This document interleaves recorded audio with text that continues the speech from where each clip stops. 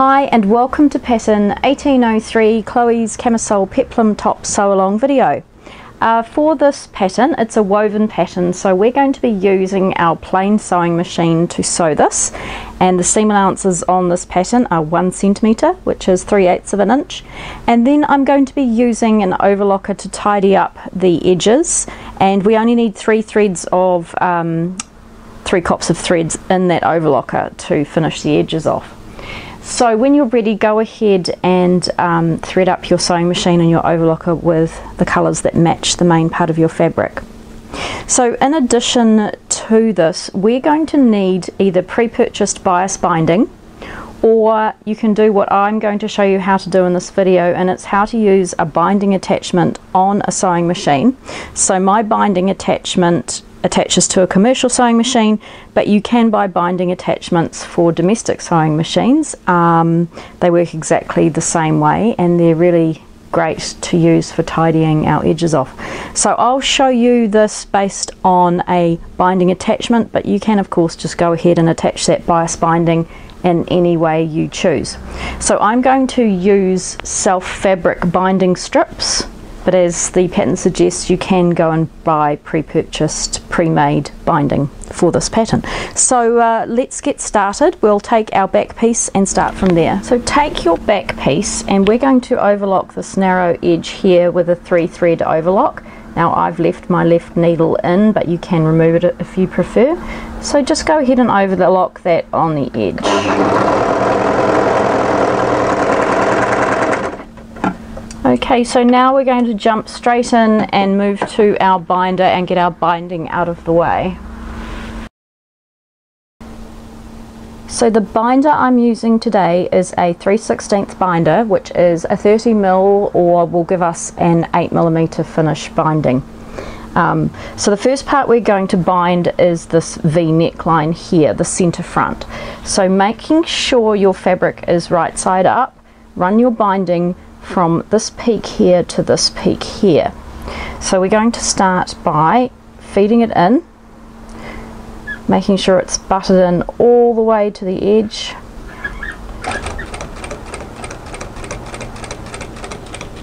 And try not to stretch it too much as you go. This fabric I'm using today is a very slippery polyester. Um, and as you can tell, I'm doing the binding in a contrast colour. So when we get to the V part here, what we want to do is open this up so that when we bind, we want to effectively create a straight line. Now if that doesn't want to open up too much to create a straight line, just take a very small nick in it and then continue sewing.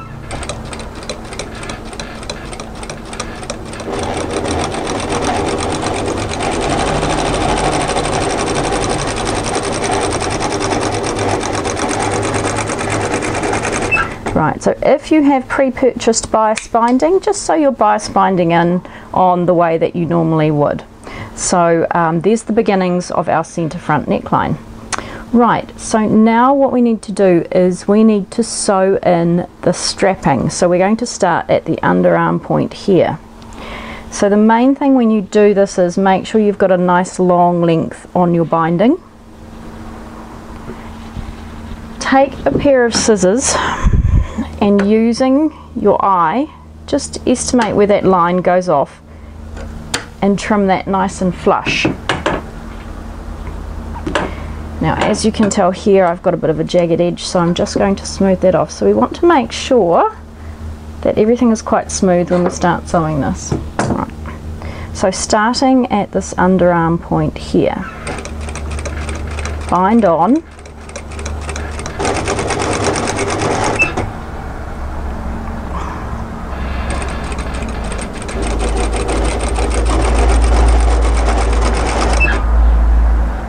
just going to get my tweezers.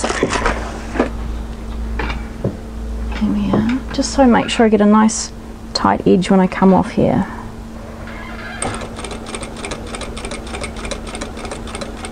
Okay, so now I need to leave a gap to be the shoulder strap.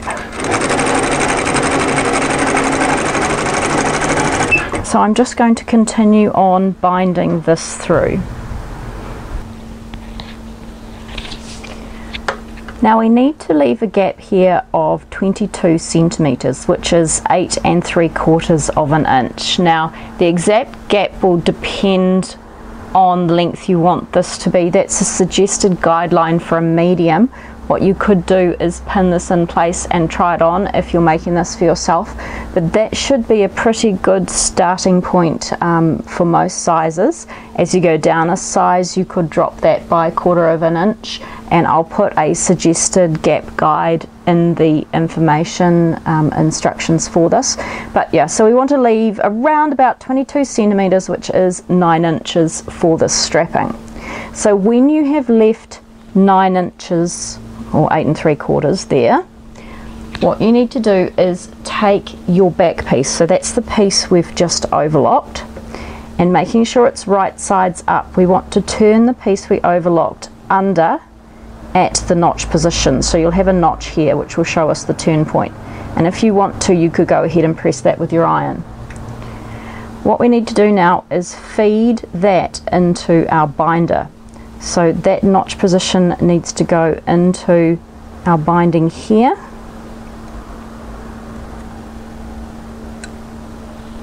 And then continue binding.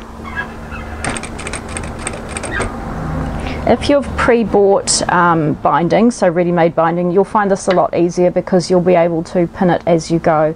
It's a little bit more difficult when you're um, doing self-fabric binding.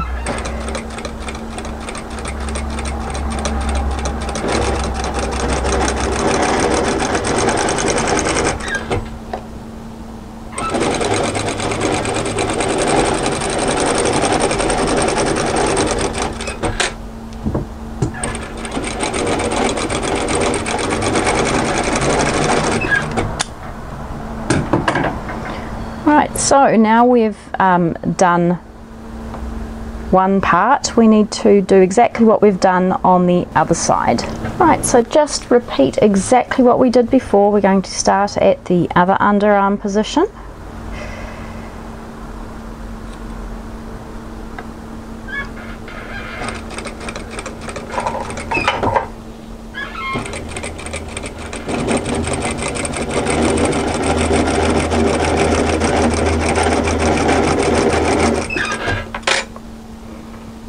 Going to tidy up the angle here to make sure it sews off nicely.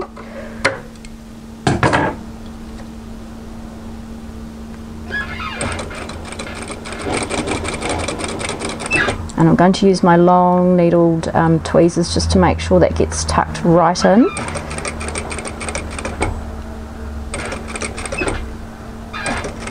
and I'm going to sew on for 22 centimetres which is just short of 9 inches.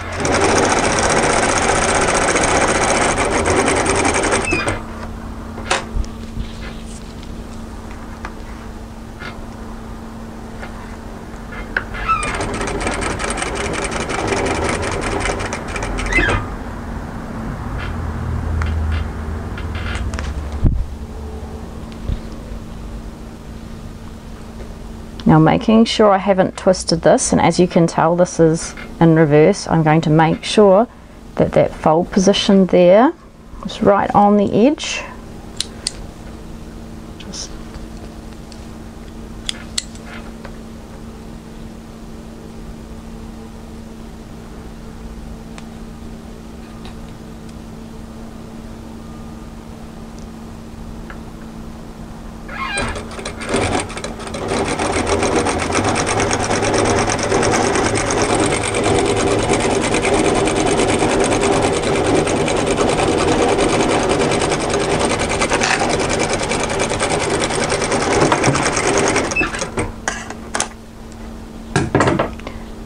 So that's all we need our binder for. I'm going to replace this back with my regular foot now.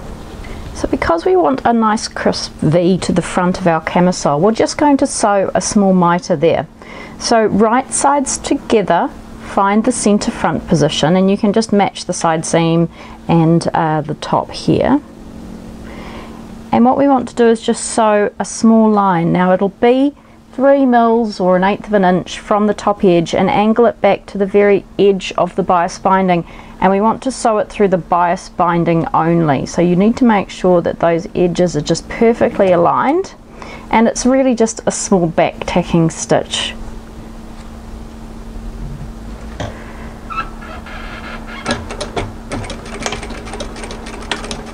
So we're making just a small triangle. And when you've done that, just tidy up your threads. So as you can see here, once that's pressed, we'll have a nice V shape, a smart V shape for the front of our camisole.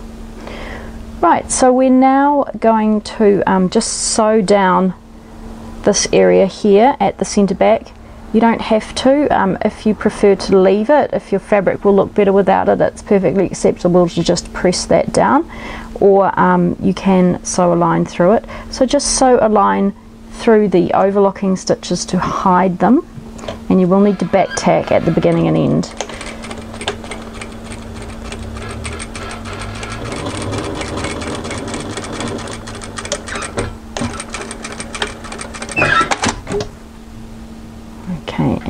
Just going to do some quality control work and tidy up my stitches. So now we need to place this right sides together and sew the side seams.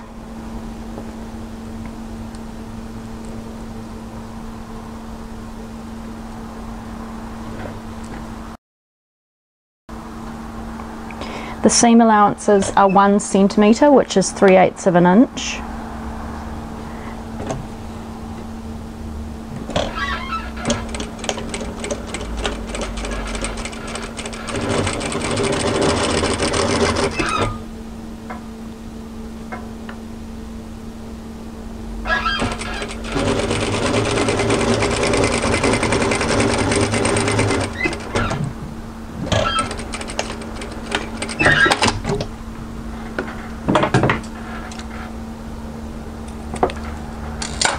Trim off the excess binding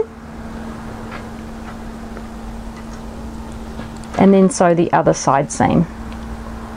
Now it's a good idea to sew it from the binding edge, the underarm down, that way you'll get the edges perfectly sitting on top of each other.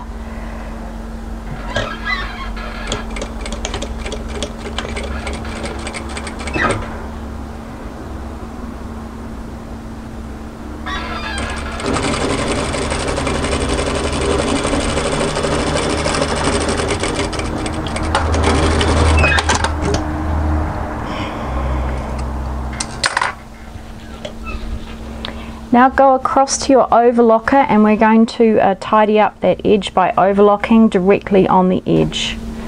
So when you sew this, leave a small tail because we'll tidy that up um, later. And we just want to um, overlock directly on the edge through both layers.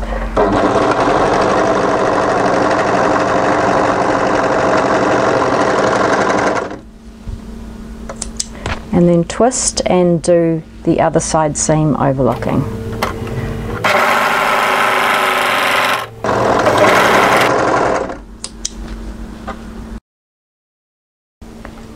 Work on the peplum, the first thing we're going to do is take both of our pieces and place them right sides together. And we're going to sew a seam on the short edges to sew them into a tube. So when you're ready, place those right sides together and sew the short edge, remembering to back tack at the beginning and the end. And I'm going to use my thread guide here. And sew a one centimeter seam. So one centimeter is just short of 3 eighths of an inch. It's close enough to 3 eighths of an inch that that'll be fine. So just make sure all those raw edges are lined up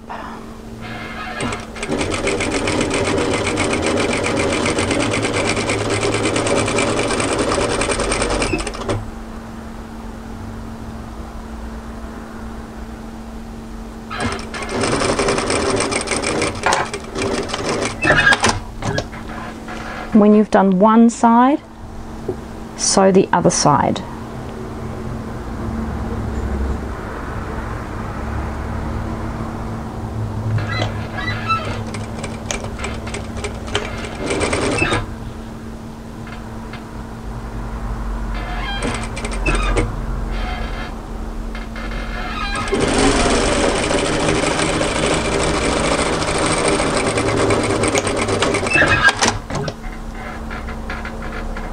So now go to your overlocker and tidy that edge up.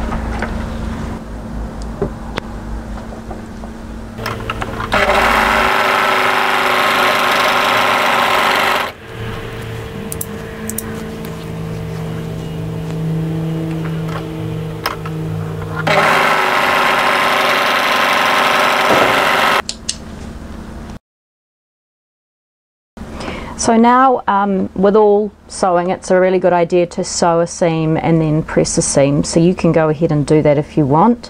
Make sure those seams press towards the back. Um, what I'm going to do now is jump on ahead and we're going to sew the peplum hem.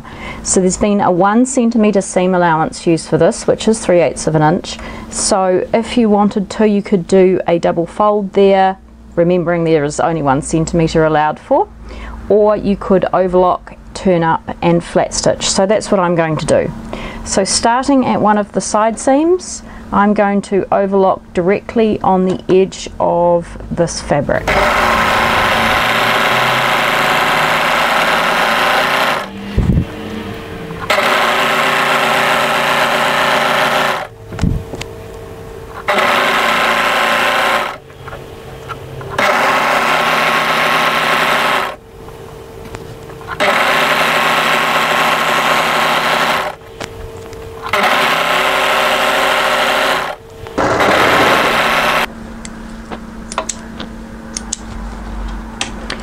Okay, so if you need to, go to your iron now and turn that up 3 eighths of an inch and press that into position before we sew the hem.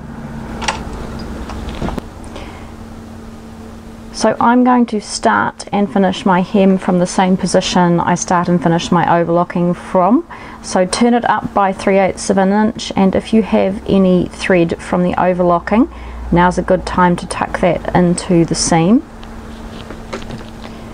and stitch through your overlocking line making sure that your seams sit exactly on top of each other. And we've allowed one centimeter so make sure the width is one centimeter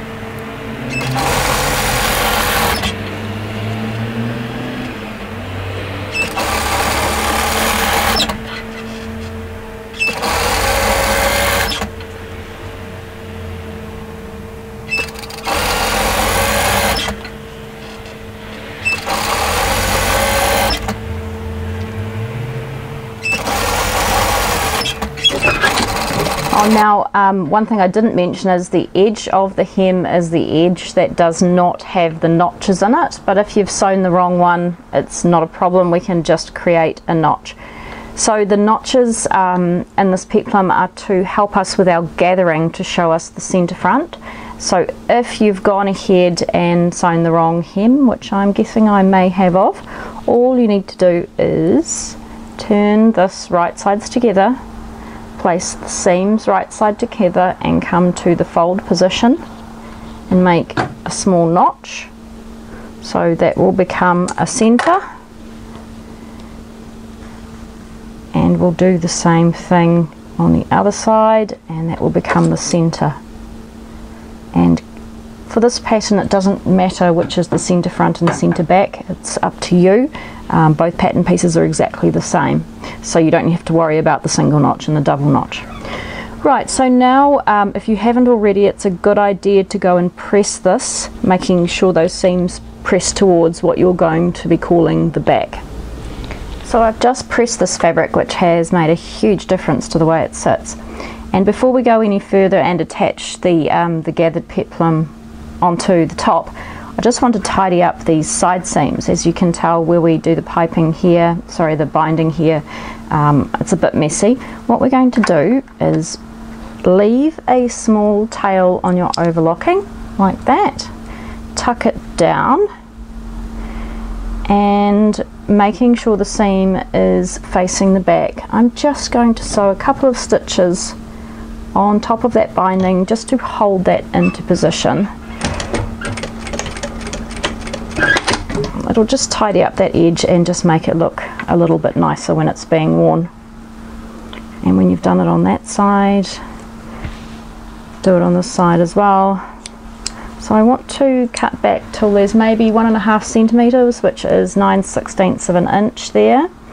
Um, making sure that's facing the back, tuck that under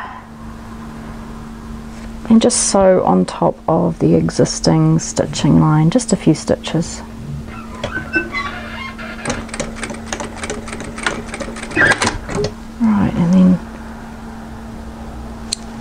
Snip off um, some excess thread, just do some quality control work.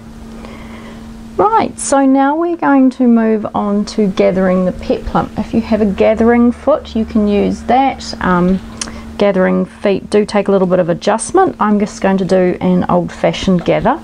So an old-fashioned gather is basically what we're going to do is pull out an extra length of thread here, lengthen your stitch length to tacking length, so that's probably from a two and a half to a four and I'm going to run a row of stitches on the stitching line. Well, when I say on the stitching line, the stitching line is one centimetre, which is nine, sorry, just short of three eighths of an inch.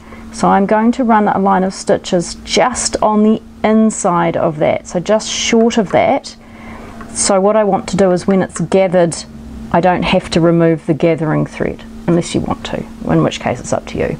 So I'm going to sew one row of gathers on the front from side to seam to side seam and one on the back from side seam to side seam. So just short of one centimetre, making sure that stitch length is lengthened.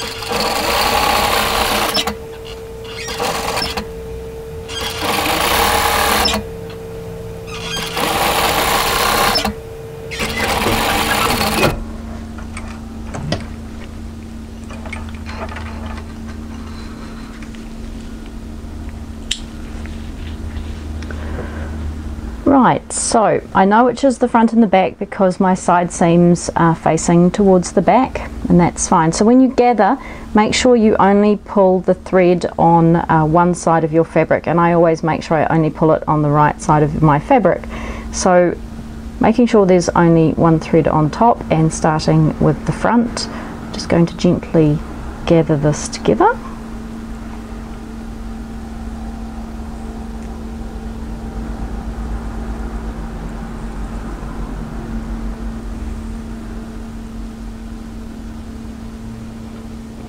And what I'll do is I'll just put a um, pin in my notch which is my center front just so I can keep an eye on it as I'm working.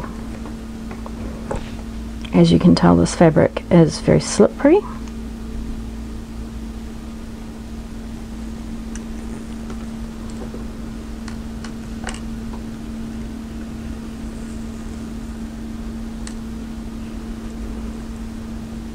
So at this stage I'm just guesstimating the amount of gathers and I'll go to the other side and do exactly the same thing.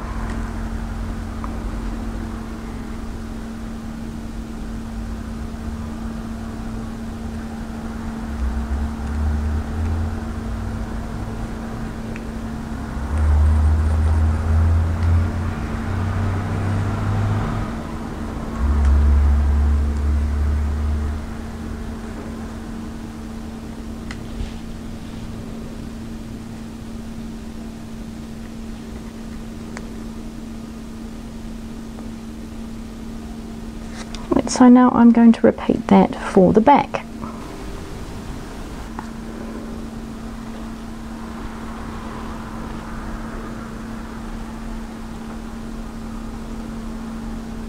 There's my notch.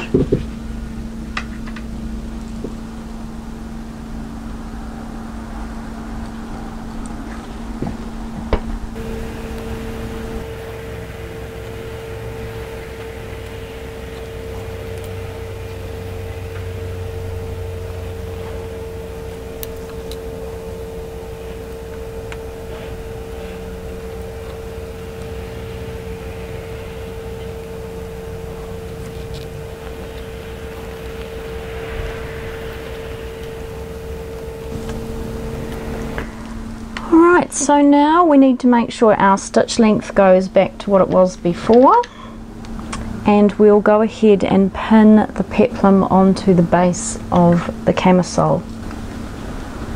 Now I know this was the back I was working on here so what I'm going to do is right sides together find the back of my camisole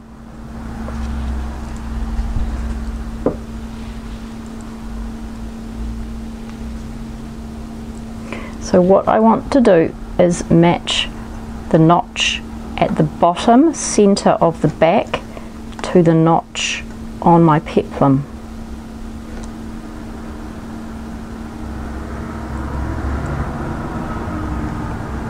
Then you want to come to the side seam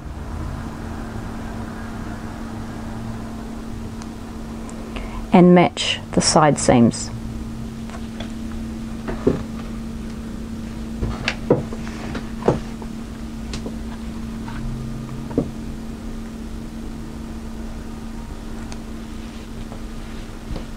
Work your way around.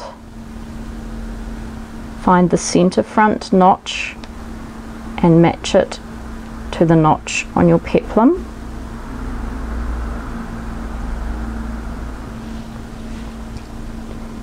Come around and match the other side seam notch.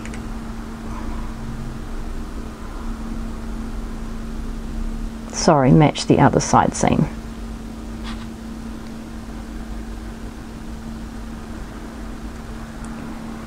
So now we're in a position to adjust our gathers to the correct amount to fit our garment.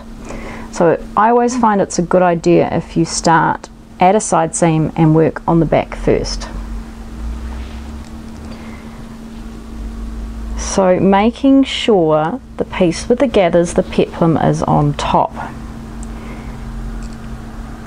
We just want to sew a couple of stitches at that side seam to secure the side seam in the correct position. Remembering we have a one centimetre, 3 eighths of an inch seam allowance.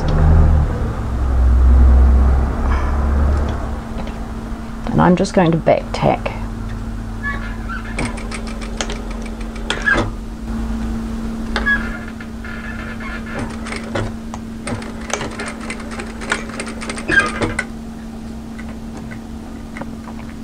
Now sewing those couple of stitches will give us a nice anchor point at the beginning. So what we need to do now is find our notch position, which is the position that we pinned in place. So we have two positions we have to distribute that ease of the gathering between nice and smoothly and as you can tell that's pretty good but I need to make sure that more of it is up this direction. So basically we're working on a quarter of the garment. So just take your time and holding your thumb on the pin and the notch position just adjust the gathering ratio until it's even most of the way across. Now if you have a gathering foot you can spend your time checking that gathering ratio and doing it all properly. But this is a really good home sewing method that certainly doesn't hurt if you're just sewing one of these. If you're sewing multiple of these, you will need to use your gathering foot and check that ratio. So when you're comfortable that's in the correct position, start sewing. We want to sew just to the left of the gathers. So we want to sew almost on that stitch line but you want to make sure when you sew that you don't create a pleat in it you just want to um, have that nice gentle gathering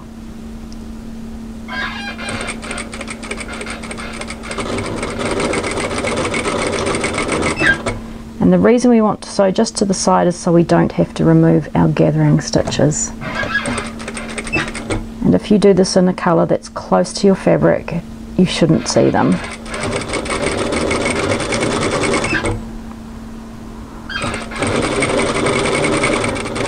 As you can tell my whole time my hand's been anchored on that notch position, my right hand. So as you get closer you can release that and take that pin away. So we've now sewn a quarter of that garment on.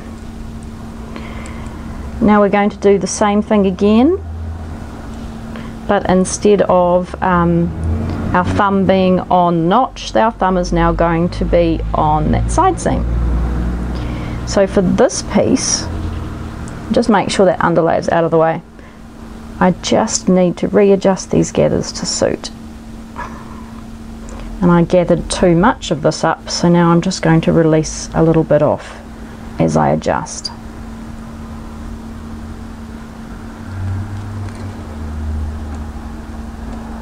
And I'll sew up to that notch before I go any further.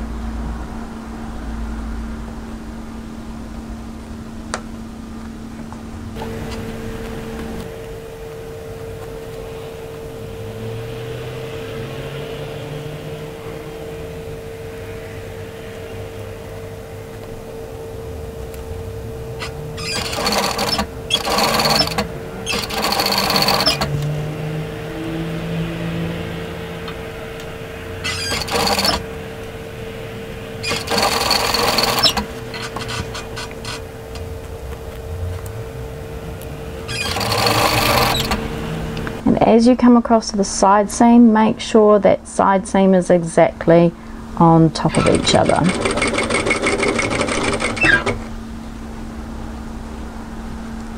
And now just repeat over the front.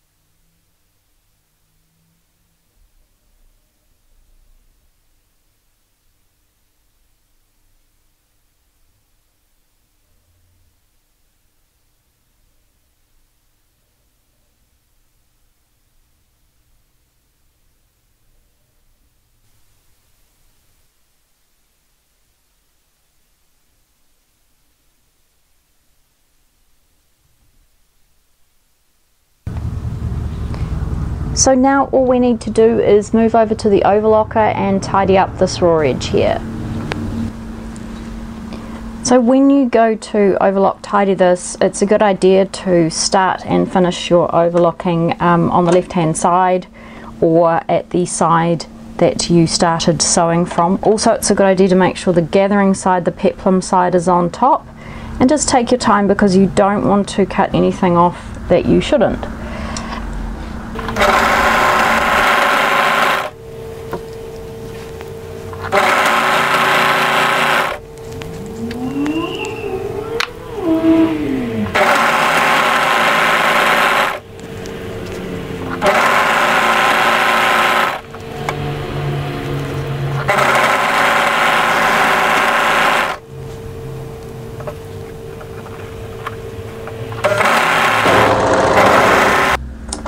Okay, so that's the end of our sew along video. Thanks for joining me. I hope you've enjoyed this sew along video. Um, remember to go ahead and join up with my Facebook pattern discussion group where we can have um, lots of hints, tips and tutorials on sewing. And I look forward to you joining me for my next sew along video soon.